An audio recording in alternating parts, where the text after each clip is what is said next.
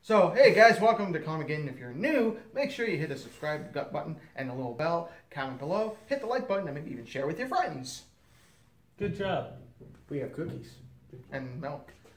Might be semen, I'm not sure. Yeah. Grr! Arg!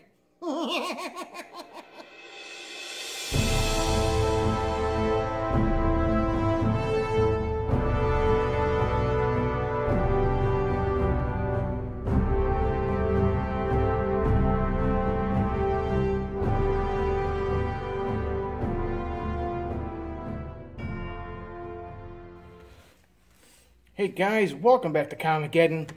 Uh, this week's episode, I'm reviewing the original vintage Masters of the Universe collection Skeletor. This is the original Skeletor from the early 80s, around uh, 83. And uh, this was the villain, the main enemy of He Man.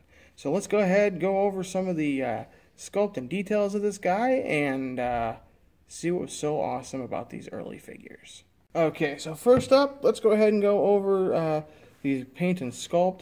Uh, these figures at the time were really basic. Uh, they didn't do, they had some detailing, uh, but not always, uh, you know, uh, painted. But what that was painted and sculpted was always just amazing, bright, vibrant, um, fully just play playability. So here we go.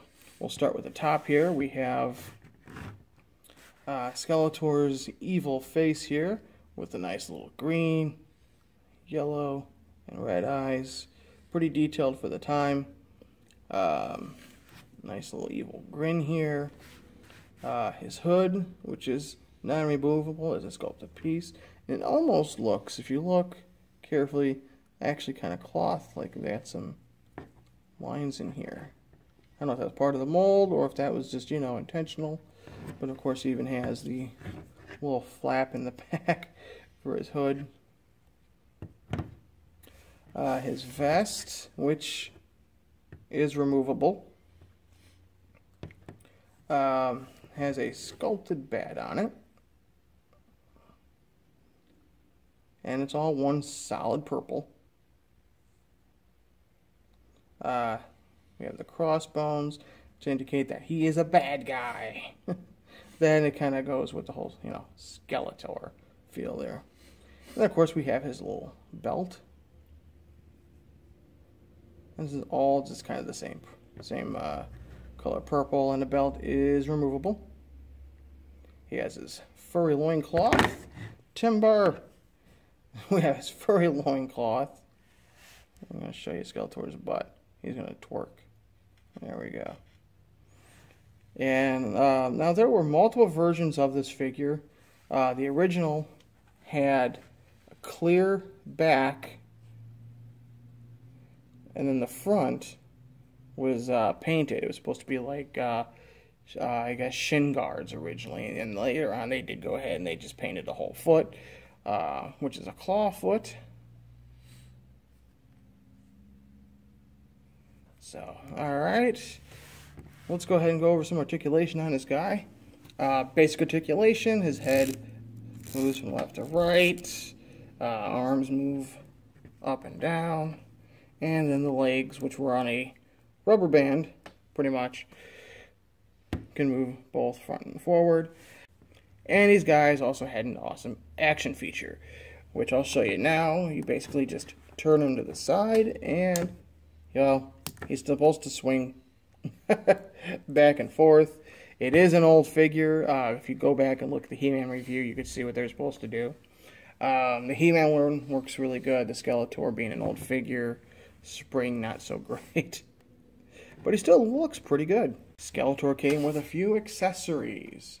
Uh, the first accessory I'll talk about is his Havoc Staff. Now you notice the Havoc Staff is kind of warped that's how they always came in the package. Uh, they were kind of always a pain to straighten out, but it still didn't look too bad and kind of matched his warped personality. And his Havoc staff could easily fit in his right hand. Another accessory Skeletor came with is his Power Sword. The Power Sword, which is a solid purple, um, is unique in the fact that it's not complete, just like He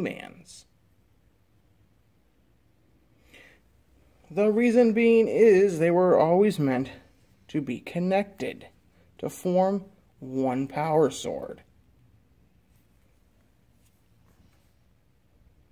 The reason being is once both halves of the power sword were connected, you were able to put it in the front door of Castle Grayskull to open it. The cool thing about Skeletor, another thing about the cool thing about Skeletor, the same with He-Man, is you could store his power sword in his vest in the back. Just like so. So there you are, the original Skeletor from the Masters of the Universe collection. I gotta say, Skeletor is pretty cool. Both he and He Man have four different variants for their figures. Uh, there was a battle armor, uh, there was, uh, for Skeletor, there was a Dragon Claw, um, there was a Dragon Mist, and then there was the uh, lace, the Laser Light Skeletor, which is him and He-Man's Laser Light figures were probably the mo- some of the more most expensive figures out there right now uh, because they were never re- released in America. So I'm lucky enough to have at least three out of the four versions of each He-Man and Skeletor. Um, this is one of my favorite figures growing up, along with uh, He-Man.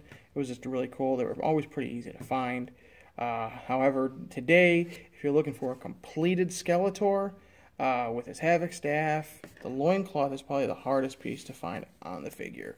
Um, and a sword, and his uh, sword, you're probably looking at close to anywhere from fifty dollars on up in the hundred regions. So pretty pricey now.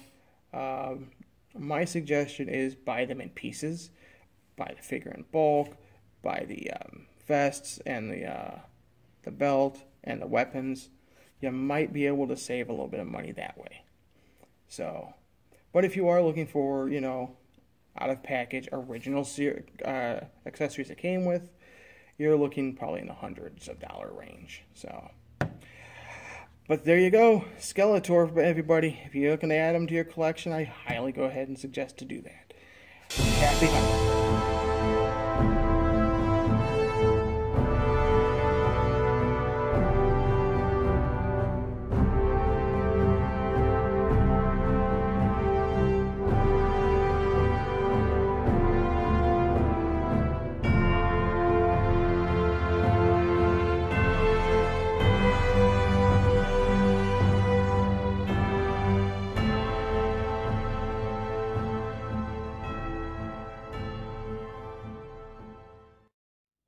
And of course, if you like this video, make sure to hit that subscribe button. Make sure you hit the like, comment below, and share with your friends. I hate you.